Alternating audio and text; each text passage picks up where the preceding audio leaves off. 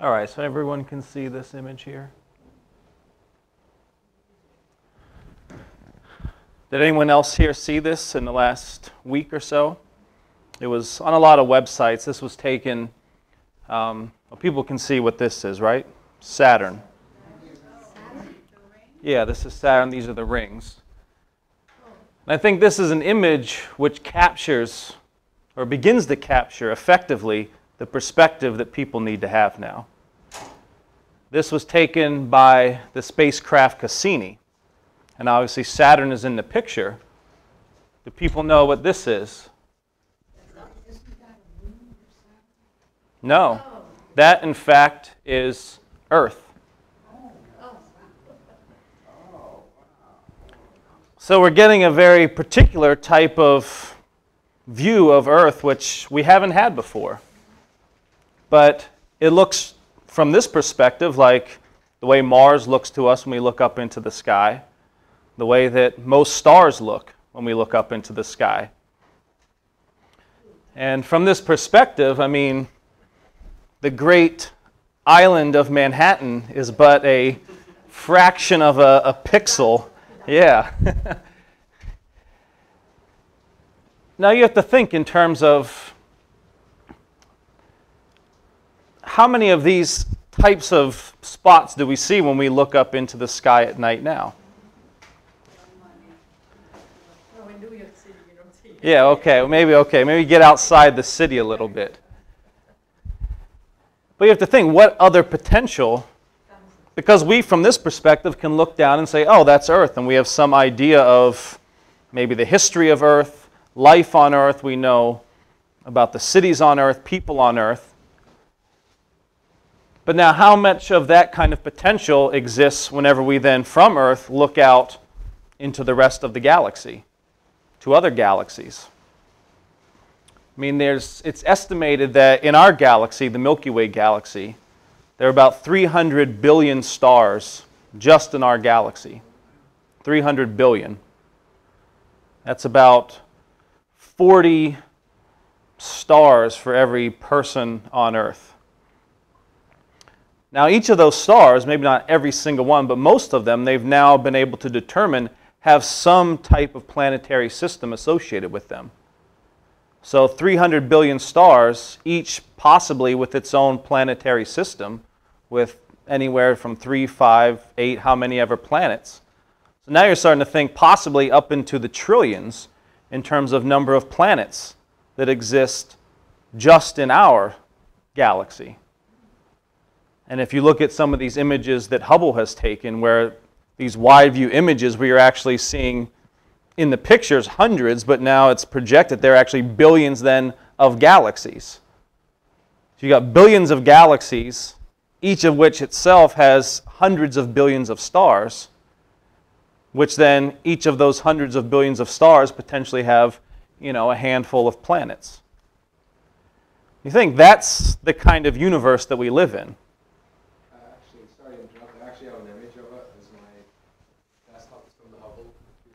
Oh, yeah. Yeah, exactly. Oh, sorry. Okay.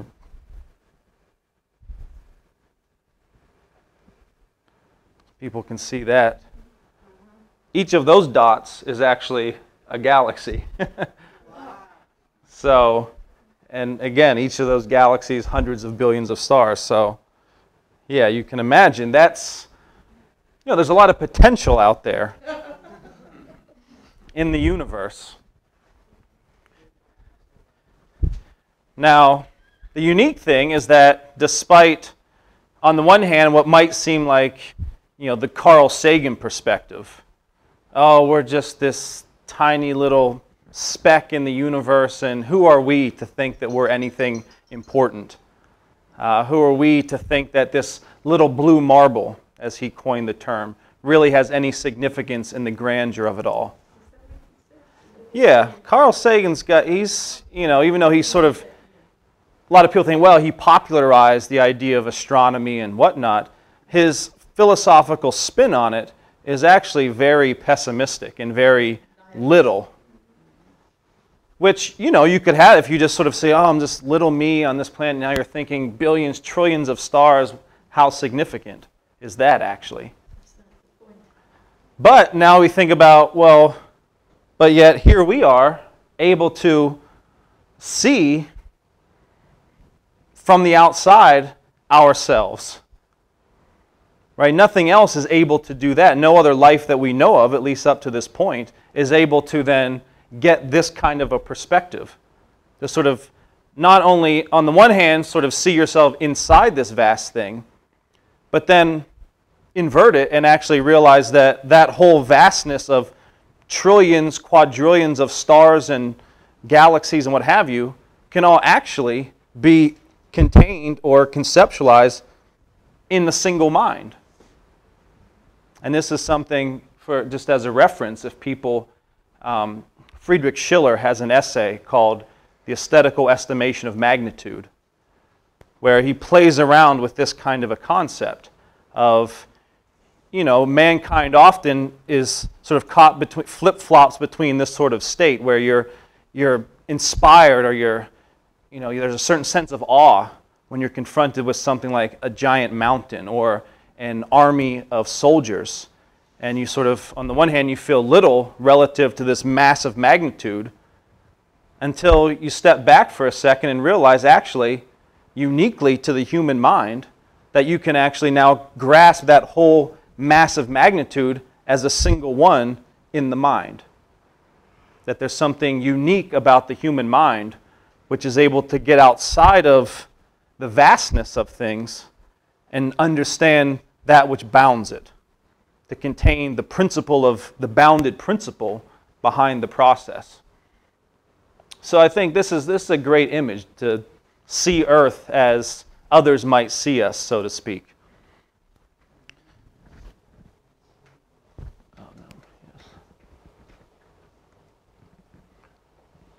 So, with this in mind, I want to now go into a little bit of from this perspective, some of what Mr. LaRouche has been touching on. He's getting back to it. He had emphasized it a lot going back a couple years ago.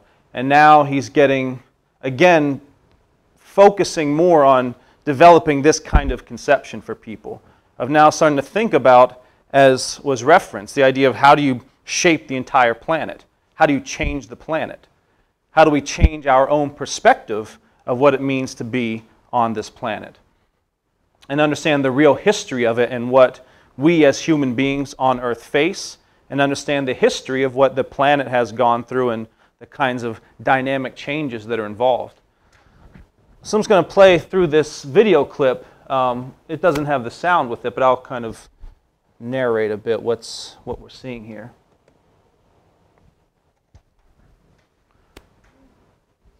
All right, so this is um, We'll see where this comes from. Okay, so first off, this is, I th- actually, I think this will come up again at, in the right context.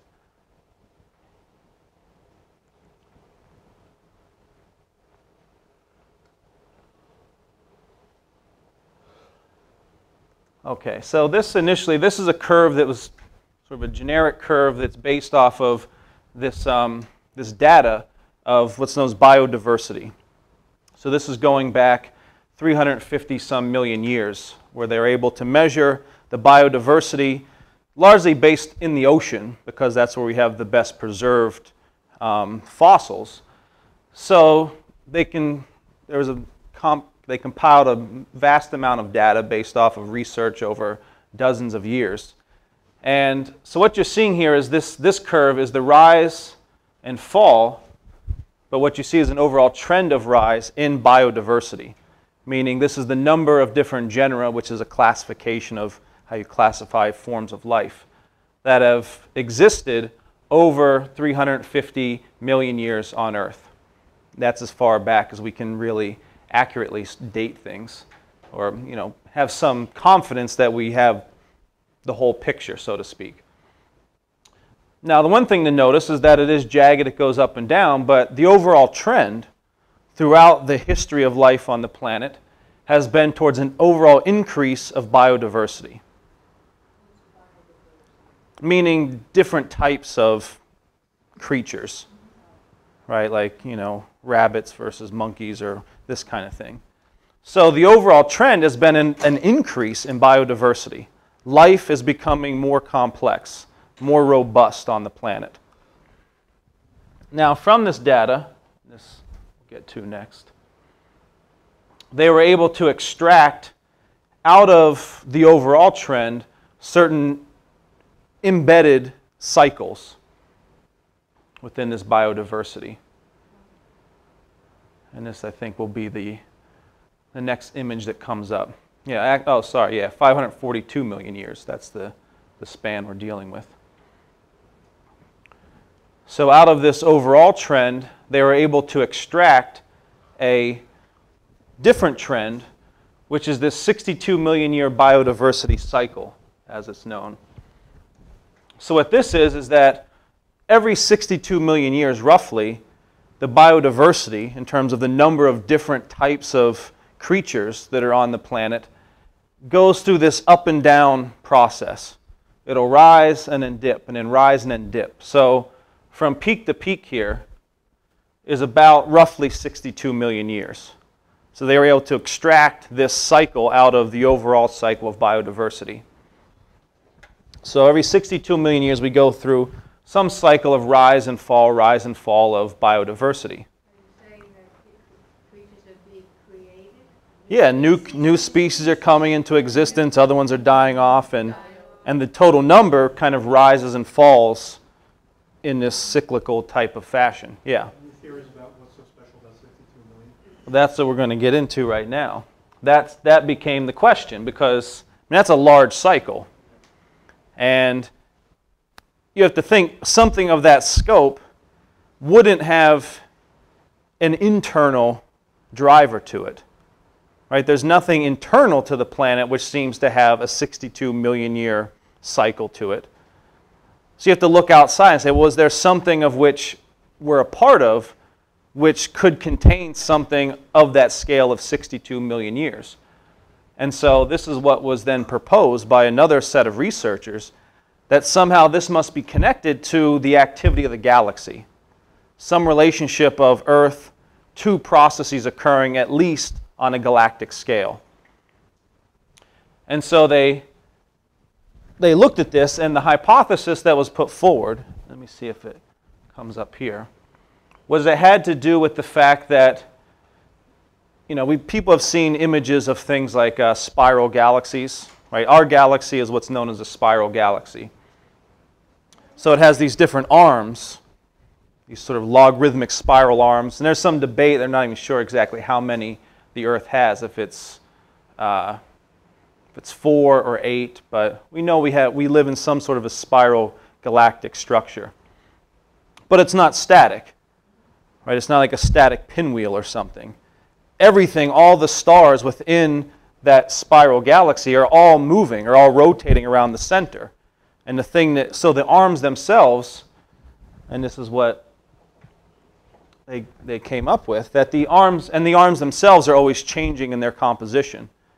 But Earth, for example, and I, I forget, I think it's about 144 million years it takes for the Earth, I think that's it, for the Earth to take one um, orbit around the galaxy, you know, to return back to the same place. So the Earth is constantly rotating, is moving. The sun, our solar system, like all stars, is moving around towards the outer edge, around the center, orbiting around the galaxy. But it's not simply just orbiting, it's also bobbing up and down. So as it's moving around the center, it's also bobbing down below the disk, so it's a spiral disk. So it's sort of bobbing down below the disk and then rising up, and then bobbing down and then rising up and passing through the disk as it does that. And the best calculations at this point are that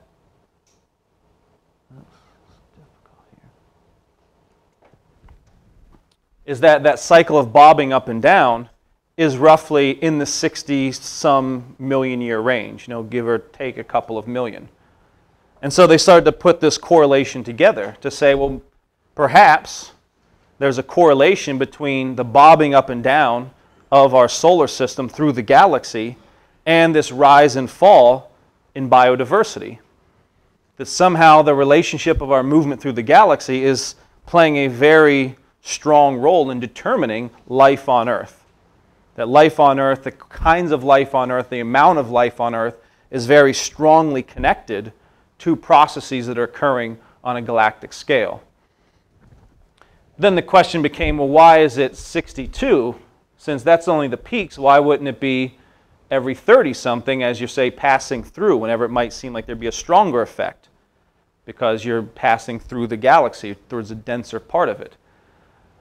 So, what was determined and developed was that the reason why it was 62 at the peaks and seemingly always occurred whenever the Earth or the solar system is at the northern peak of this cycle is because our galaxy itself is also moving, and it's moving towards what's known as the Virgo cluster, a cluster of stars and nebula and whatnot, which produces a lot of cosmic radiation, high intensity cosmic radiation. And so the idea was as we're moving into this Virgo cluster, is creating a certain kind of shock front, which is then accelerating, driving an increased amount of cosmic radiation towards, the, towards our galaxy and now we would have greater exposure to that radiation as we were towards the northern half of, of the galaxy, as we were in the upward trend of this, of this movement. And so there's a lot of strong evidence that that's so one aspect of what's driving biodiversity is our not even just our galaxy, but then our galaxy's relationship to other star structures, the Virgo cluster and you know cosmic radiation this is just another image of another aspect which plays a role in life on Earth.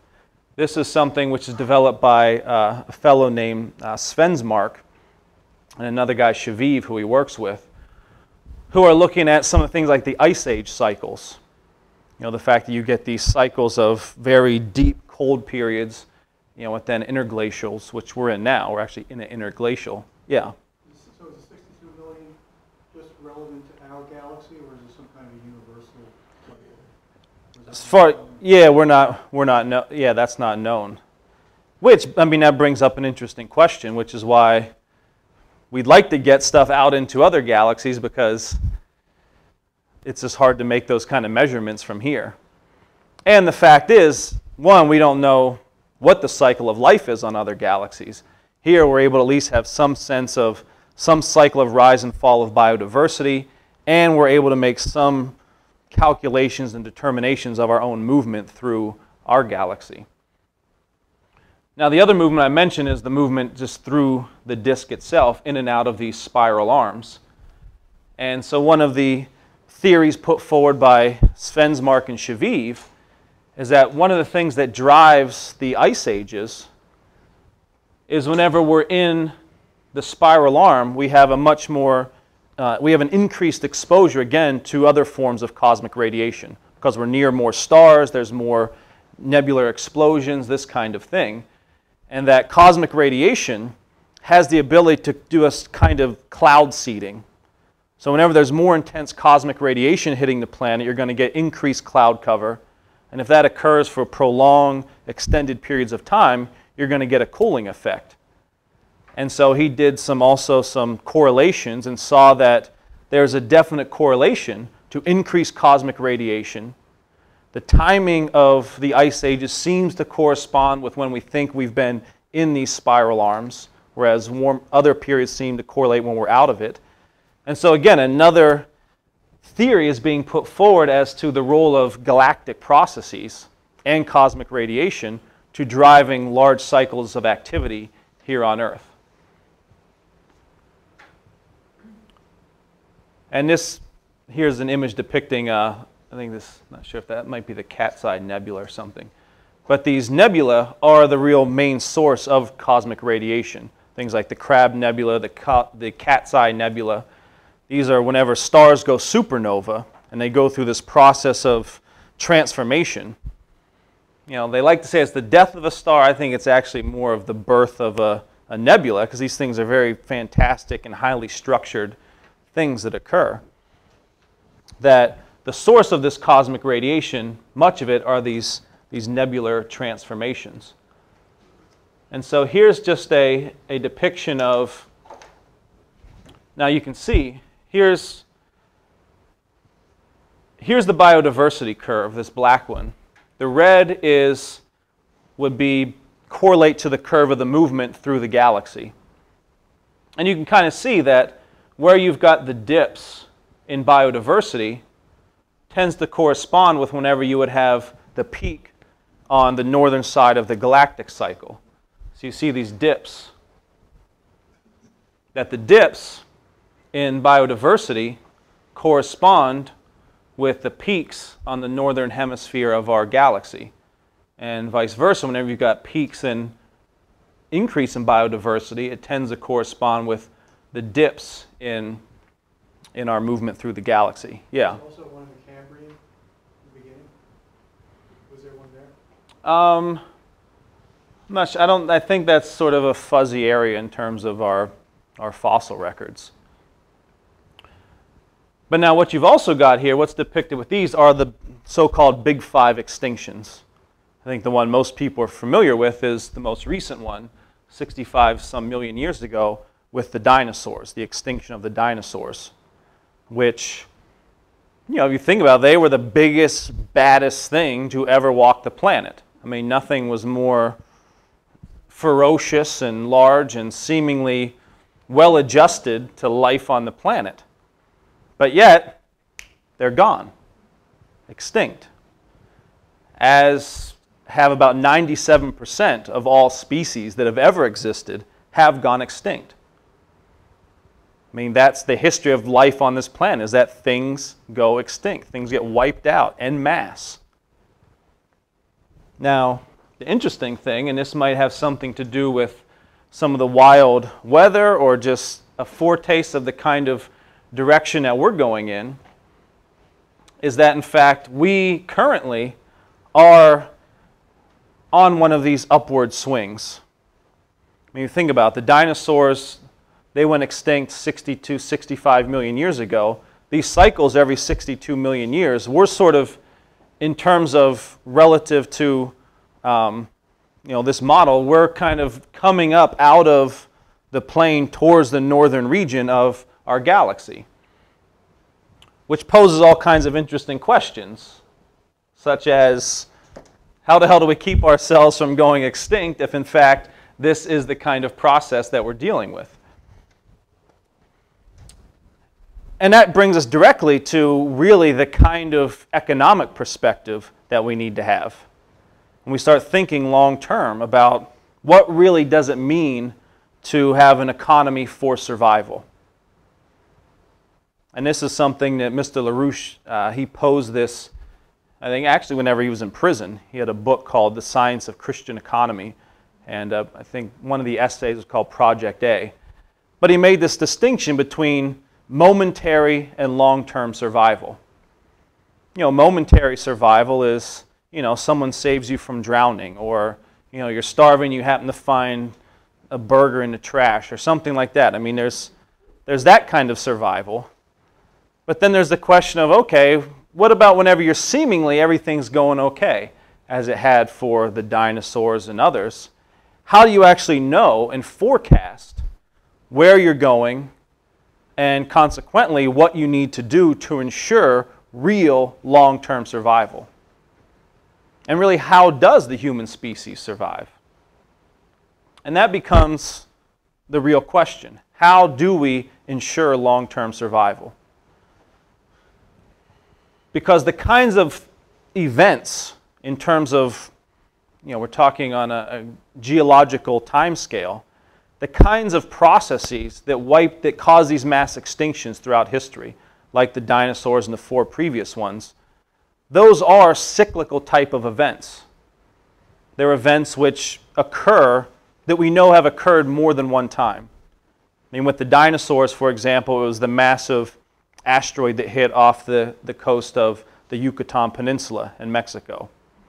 That, you know, is at least one of the drivers which it wasn't just the blast, it was that it sent up a, a lot of debris and smoke and blocked out the sun. Uh, there's a lot of evidence this, that this also went along with some massive volcanic eruptions Some of the other extinctions were driven by things like tectonic changes, which change, which not only create a certain kind of uh, you know, instability in the crust, but also changes ocean currents. You know, one of the big drivers of climate change was whenever you had the, uh, with the peninsula that connects North and South America, when that um, finally came together, closed, it changed all the ocean currents on the planet, which changed, you know, where warm water and cold water went, which actually was one of the drivers for uh, one of the ice ages, or at least played a role in it.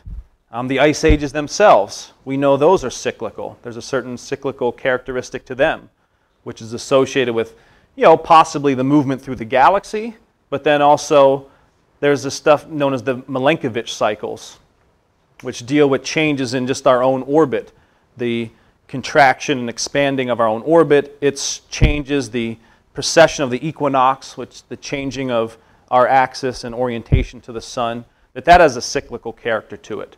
And that seems to correspond with these ice ages and different amounts of radiation we get from the sun.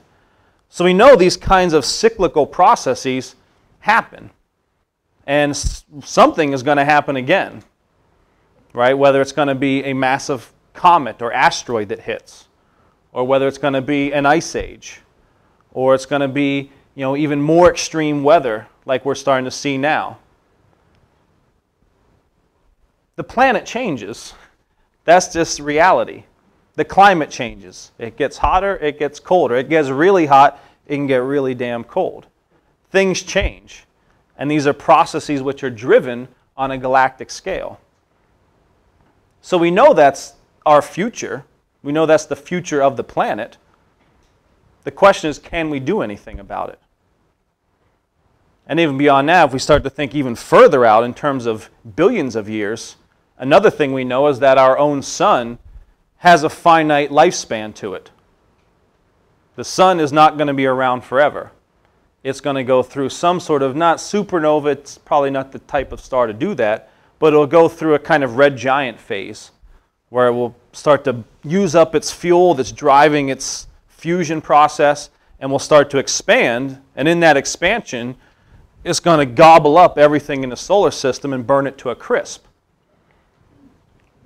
Which means, you know, we have to figure out, we got a couple billion years, hopefully, at least to figure out not only how do we defend Earth from cosmic phenomena, but now we have to think about how the hell do we get out of this solar system and into a safer region? And how do we know what characterizes a safer region? You know, how do we determine what's a habitable place for mankind? And so these become the big types of economic questions. And in fact, it's by taking on those types of questions that will really be the driver for getting out of the current economic crisis. So let's give some examples of what we're looking at, others are starting to play with, but it's not nearly enough. So there is a policy known as the Strategic Defense of Earth.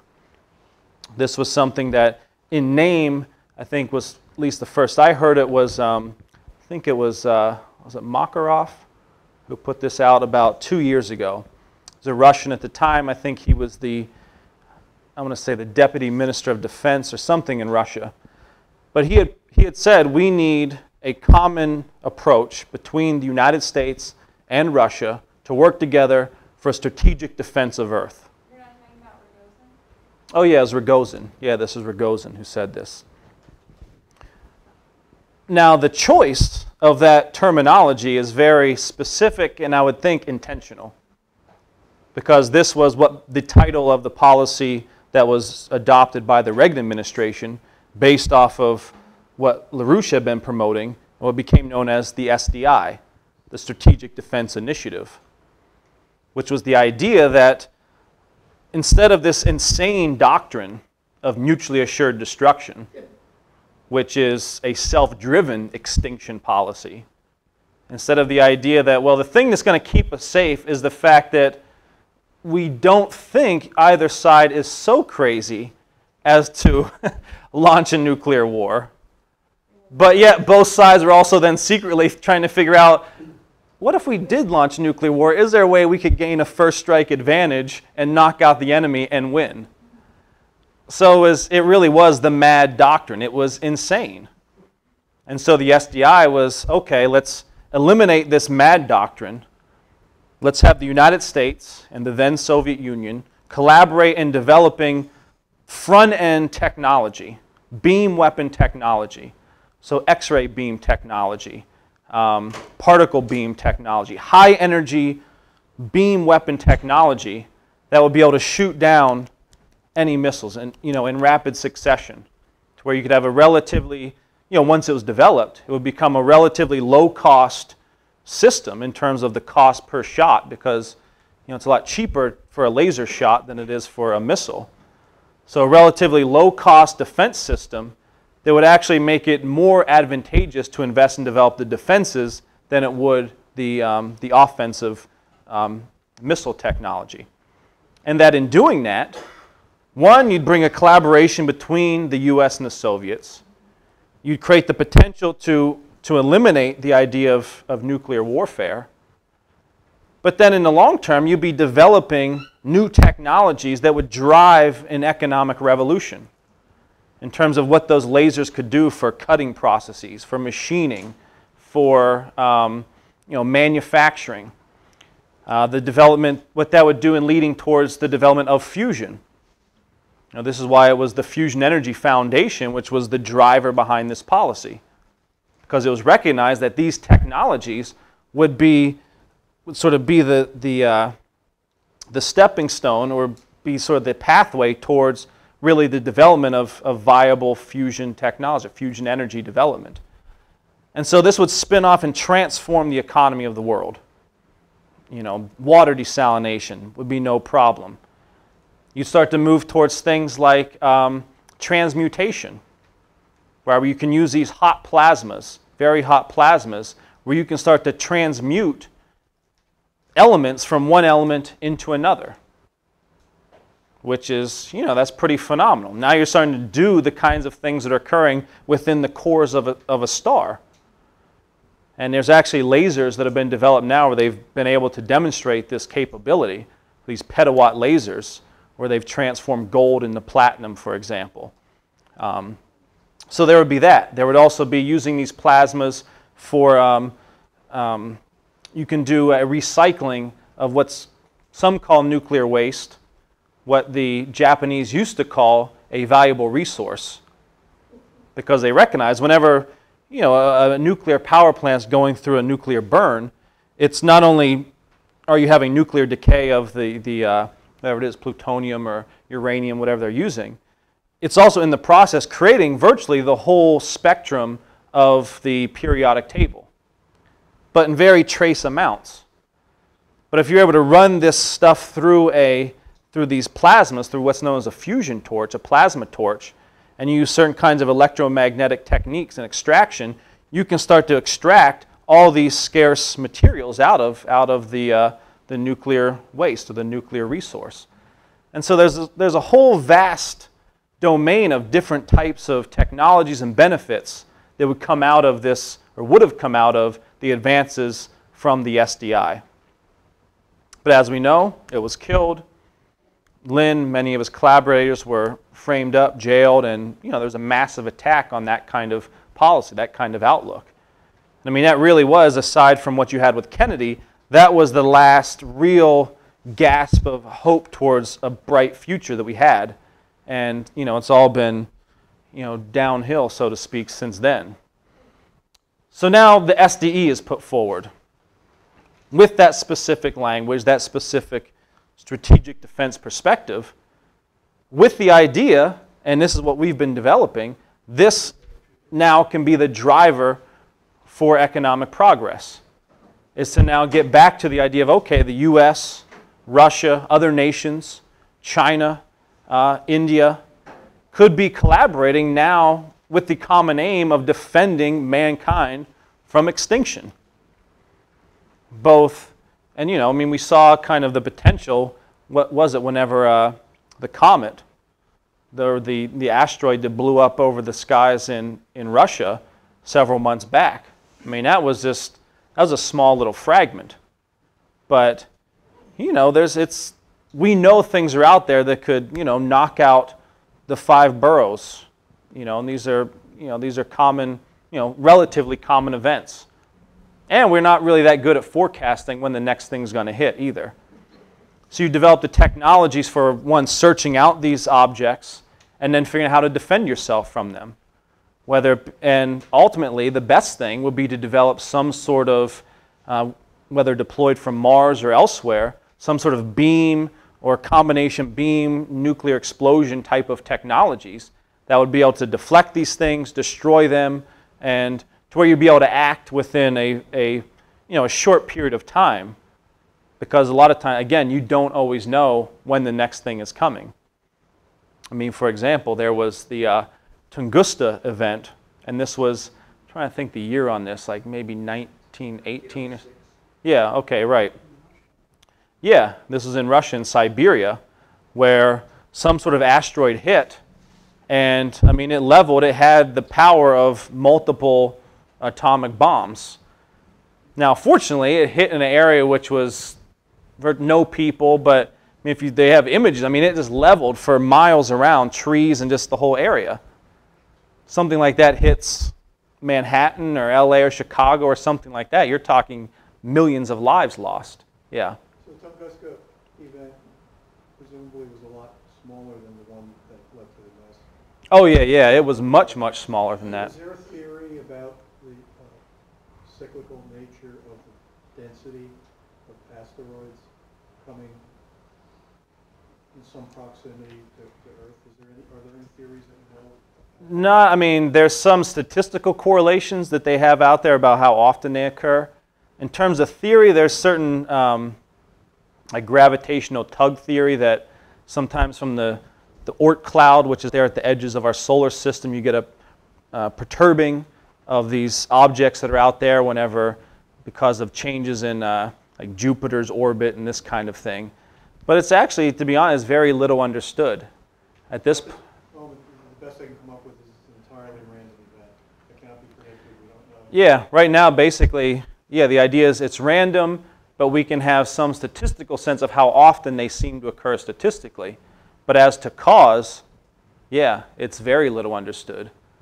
And this is something that we're trying to work on, and people at NASA are also trying to figure out, which gets at another problem, which is unfortunately the quality of education, the, uh, the methodology which is employed in science today hinders a lot of that progress because everything often is reduced just down to statistical correlation to certain kinds of existing mathematical formula as opposed to say what you have with Kepler where Kepler I mean he created a science. He made discoveries for which there were no mathematics right? Kepler confronted with paradoxes about the nature of of Mars, for example, than the whole solar system, generate a hypothesis based off of paradoxes that were presented, experimental paradoxes, a hypothesis which we now know is true, which had predictive capability,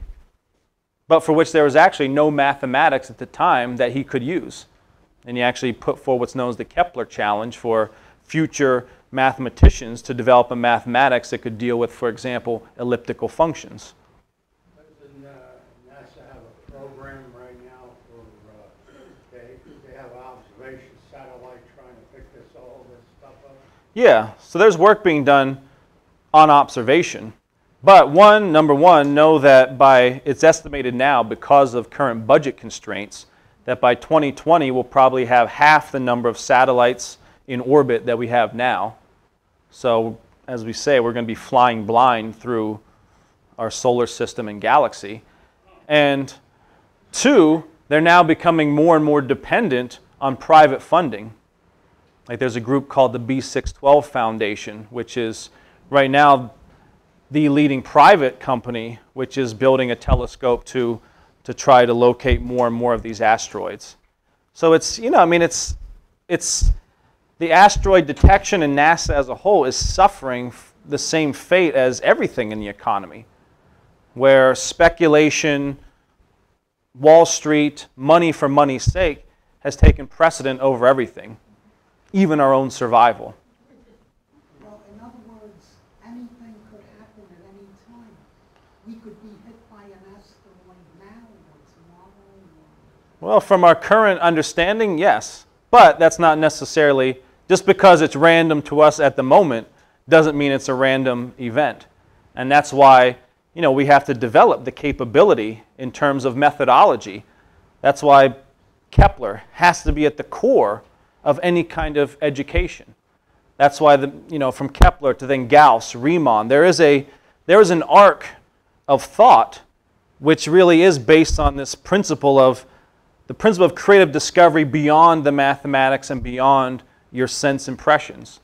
And I mean, you're talking about a, a continuity that goes from, you know, really from Plato through the Renaissance, through people like Cusa.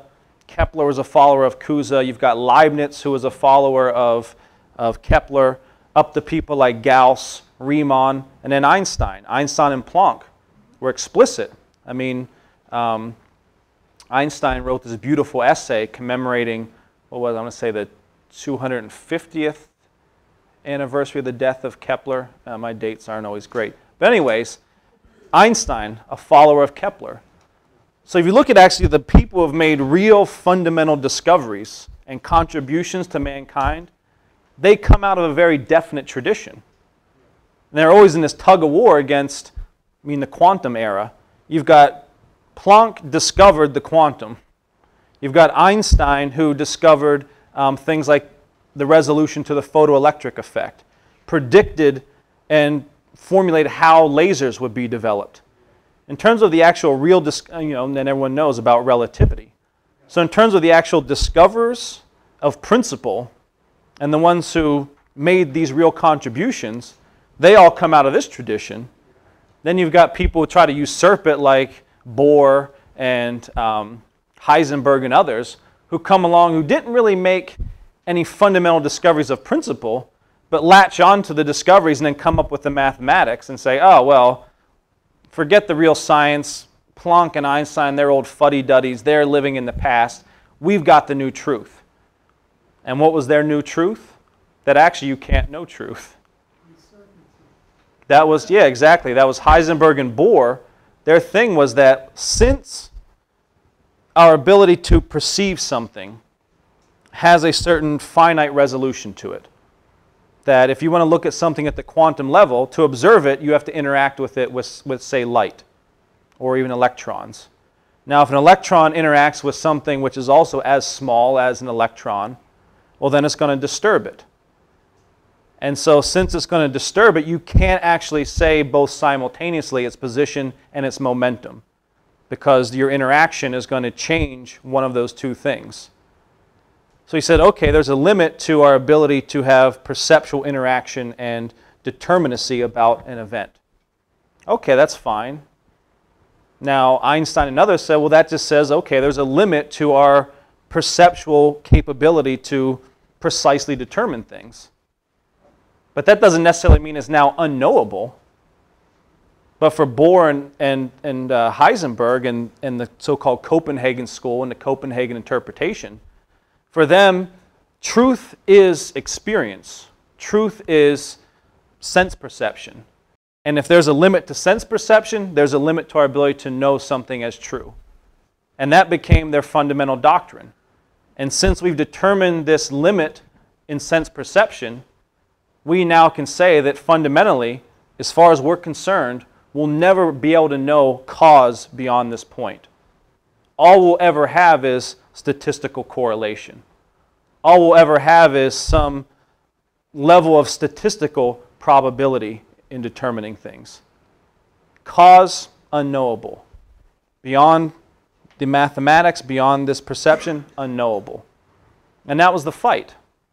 Now, whenever you adopt that, it, it also produces a very kind of pessimistic mentality in science, in the population.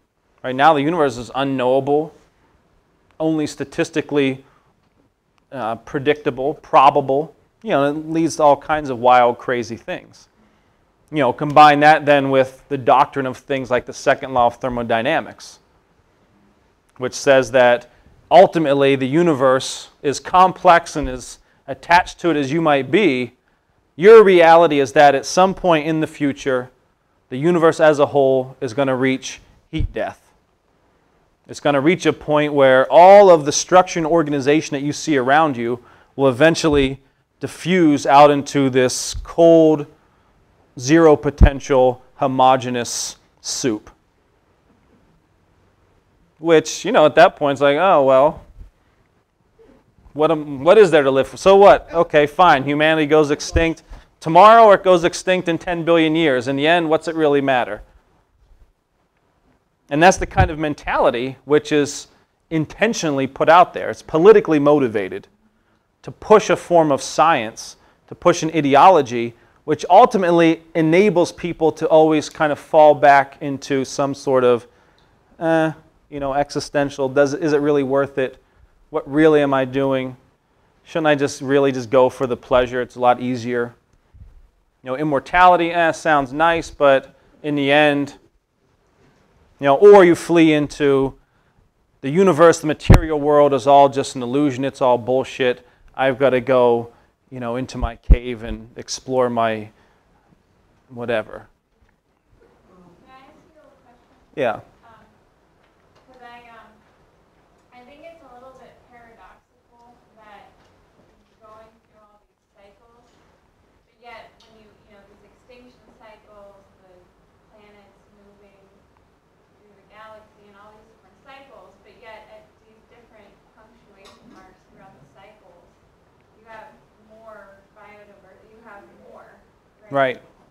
So it is kind of a funny thing to think about because on the one hand, you could say they're cycles, but on the other hand, they're not just cycles. Like Right. there's something else going on there because it's funny.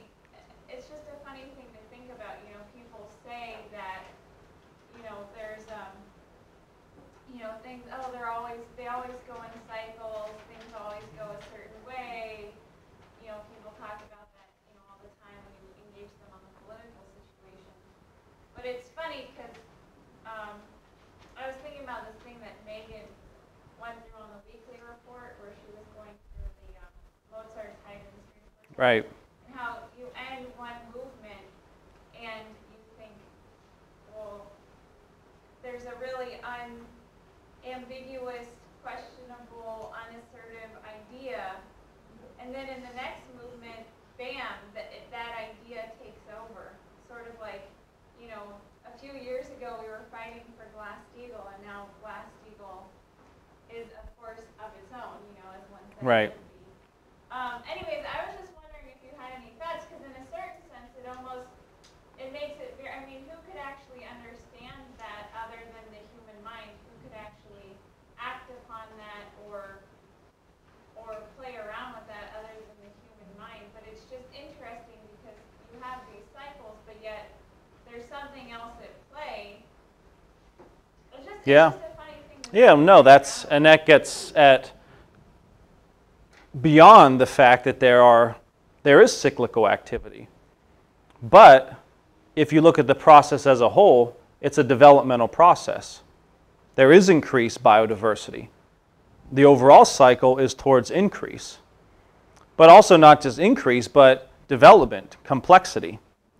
If you look at life going back to the first little bacteria that were in the ocean, who effectively extinguished themselves through their production of oxygen.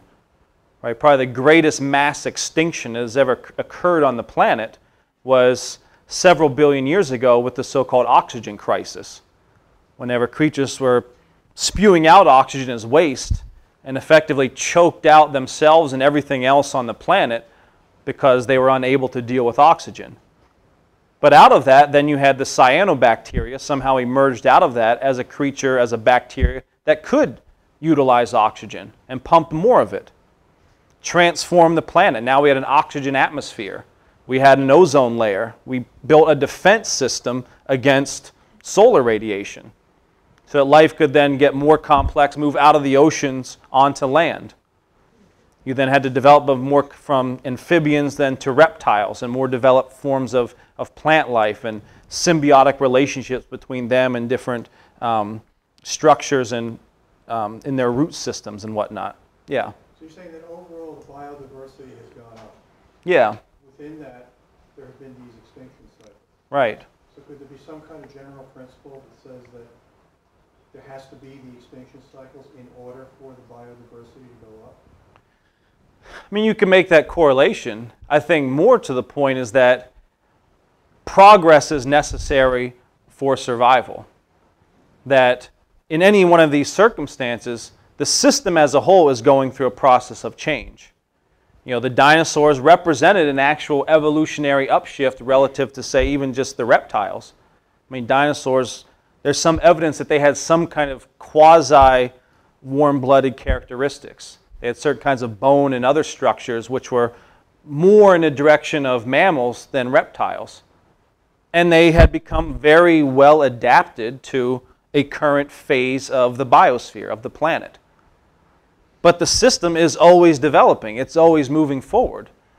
Because that gets to the point. The universe itself is not just a statistical being, right? The universe is not a, a machine in that sense, that it's, it's fixed in terms of its characteristics and its workings, and it just goes through sort of a process of unfolding. But the universe is always changing, it's always developing, it's always becoming more complex, more dynamic, more inter, interwoven. And so life itself has that same characteristic. Now, within it, any creature, that's the nature of creatures. They don't, as individual species, they don't necessarily evolve to the next phase. Right? You don't have dinosaurs weren't able to step back and say, hey, things are changing. We better, you know, figure out a better way to exist. Maybe we better get smaller, start growing some hair or whatever. But life as a whole, the principle of life did change. It did evolve. It did develop. Right? You then out of that extinction, you had this little you know, what was nothing, a little nothingness running around for a couple million years prior to that extinction, these mammals, all of a sudden, boom, exploded, became the dominant creature. But they became dominant because the whole system changed. Right? Plants went from being dominated by these gymnosperm type of plant life to angiosperms, which are the type of plants that produce fruits and flowers which have a lot of energy contained in them, right? There's a lot of energy in fruit. That became necessary for mammals, which have a very high metabolism relative to reptiles. Reptiles are cold blooded, they can't live in certain climates, they got to shut down for half the year when it gets cold in certain climates. Mammals, no, they can do that. But it's expensive. They need a lot of fuel, they need a lot of food. That's hard to get whenever you're just trying to live off of ferns. But seeming virtually simultaneously with the evolution and development of mammals, you then had the development of fruits and flowers to fuel those mammals.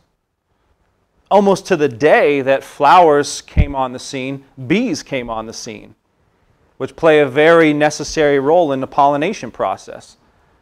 So you start to see the whole system actually went through this, in a sense, a technological upshift, a revolution. And that the, you know, the characteristics of that revolution are that more work, in a sense, is being done on the planet. More energy from the sun is being transformed into biomass. More soil is being overturned. Seeds are being spread further by mammals because, you know, they eat the berries, they go out and poop deep into the woods. And so the whole system is going through a, an evolution towards complexity, diversity, and intensity of work. This, you know, the biosphere is working harder and more dynamically. Now, that's a lesson that we have to learn as human beings.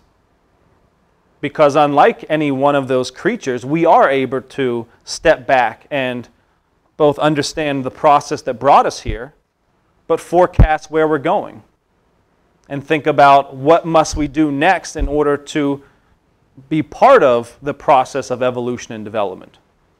Now, if we don't move forward ourselves, the universe is moving forward regardless of what we do it would like our help. And, you know, I mean, this, I think this is really the essence of, uh, you know, the, at least it's probably there in almost all religious doctrine to some extent that, you know, human beings are in the image of the Creator.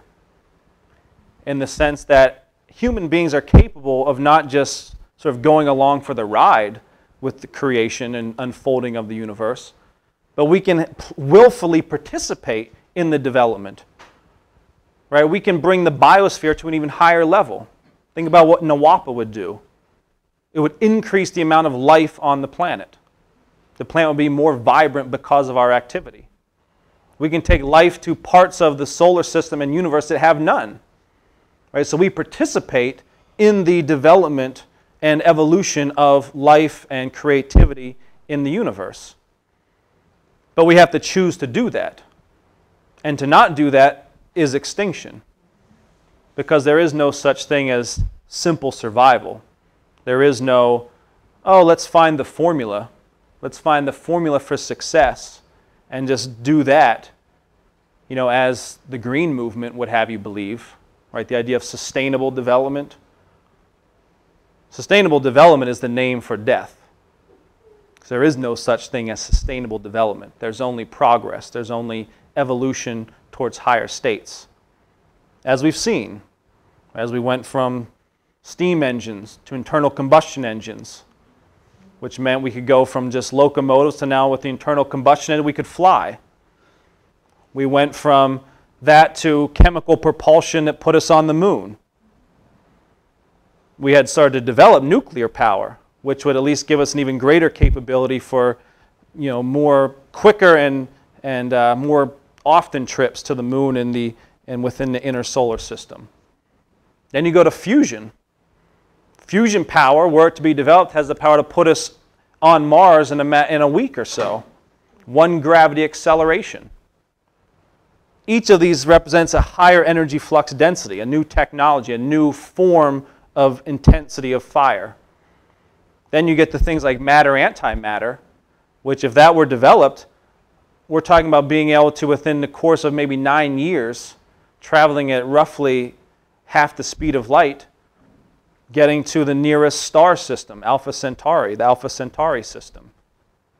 So, with each of these evolutionary phases in terms of a technology, in terms of a new power, and energy flux density, we increase then the power of man to go further out into the solar system, into the galaxy, to control even higher energy intensive processes, to the point where we now willfully, as man, start to replicate and create the conditions that otherwise only exist in the center of stars.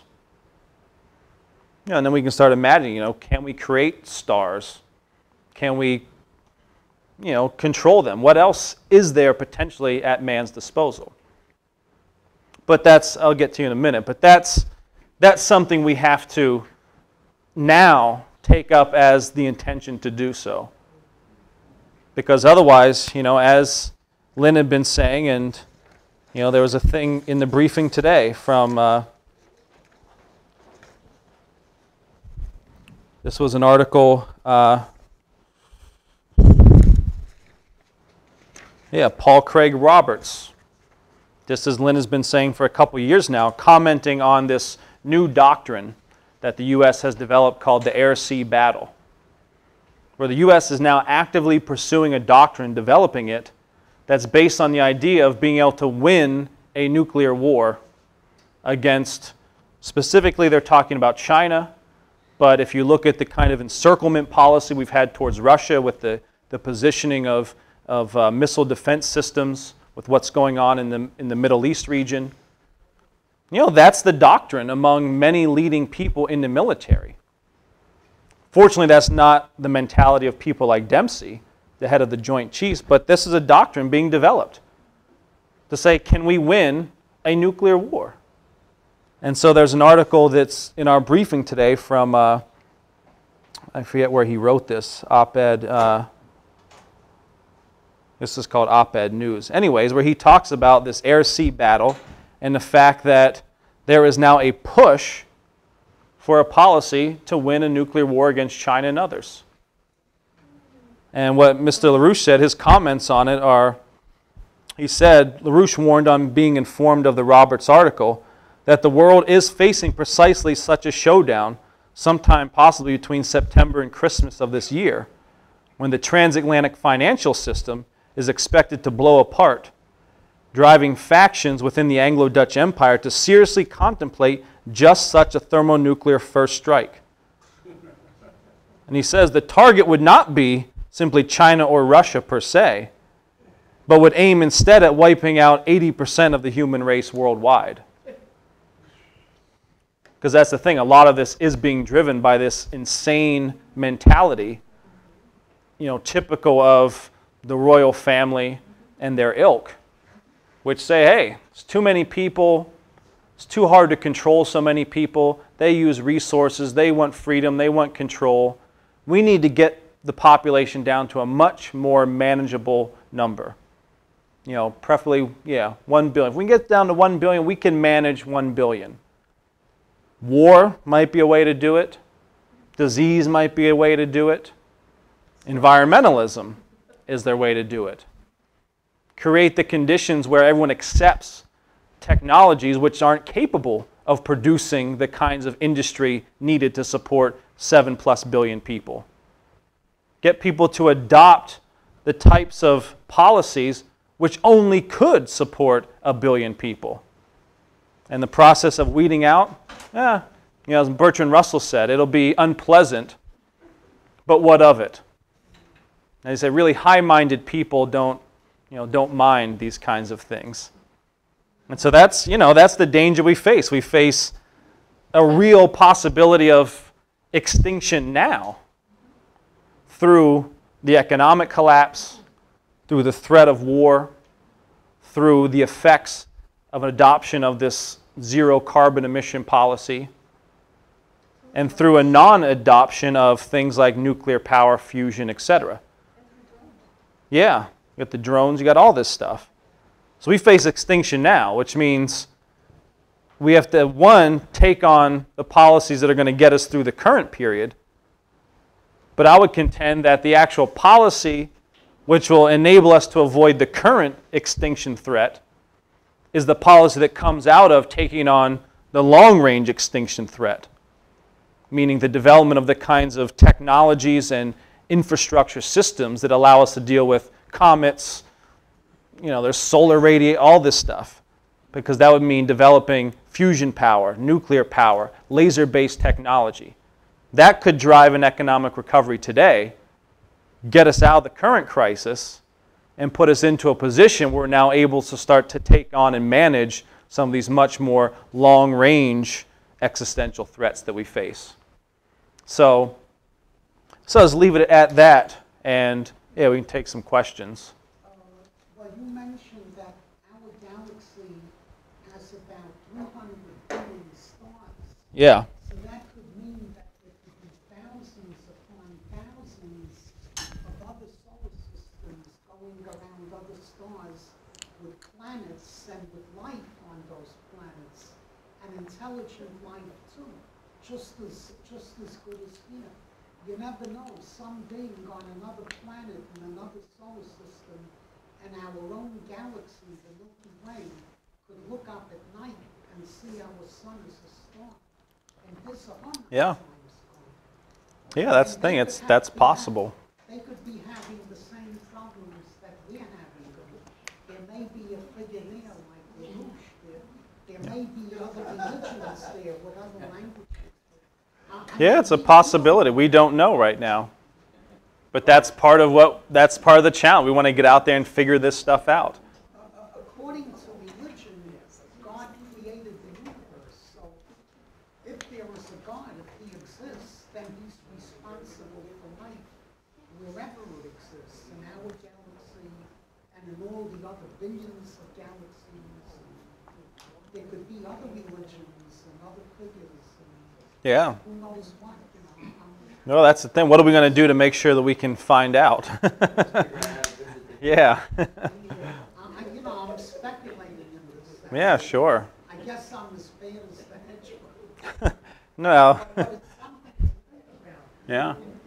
There are three hundred billion stars in our own galaxy, I I believe there must be other life on, on other planets Yeah. just as intelligent as we. It's possible. Well, I know there's life here on Earth. Yes. Is there any other questions anyone has? Yeah. You mentioned the SDI program, right? hmm Way back, I understand that the SD SDI program will be, will be, will be talked about. And, and we, we can have, can you put it to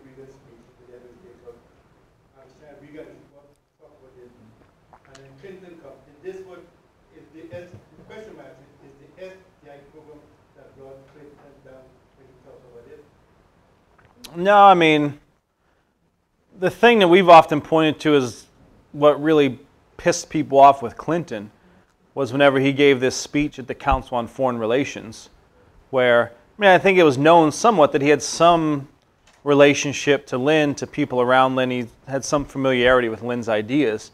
But he then gave this speech um, at the Council on Foreign Relations where he said, We have the worst financial crisis that we've seen in over 50 years, and we need a new financial architecture.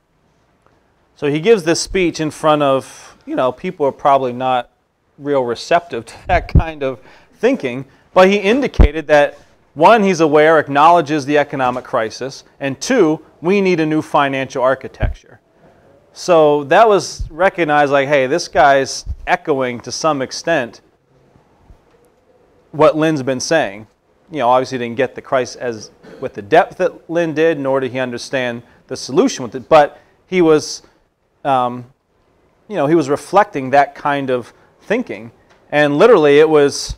We're talking within, I think, almost days maybe of that speech. The Lewinsky and everything else breaks, and boom, that shut him up. And you know, so this coincided with other stuff that was going on, games that Gore was playing with the Russians and uh, other things. But yeah, I think that was part of that kind of sealed the deal on Clinton in terms of them saying, "Yeah, we got to shut this guy up because this is this is going too far." What is, Yeah. Oh, sorry. No, you go. oh, oh, what is happening to Clinton now? You just mentioned, you know, he's, he's just been totally Yeah. euthanized.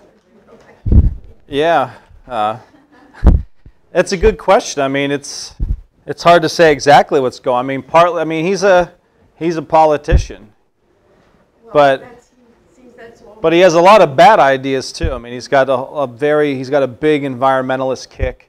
Um, you know, who knows? He's also trying to sort of position things for Hillary to make a big run at the next election.